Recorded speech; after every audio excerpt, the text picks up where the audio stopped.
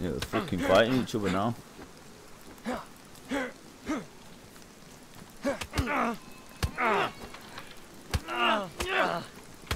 What is this all about? How come I can't hit him? I'm... Fuck off!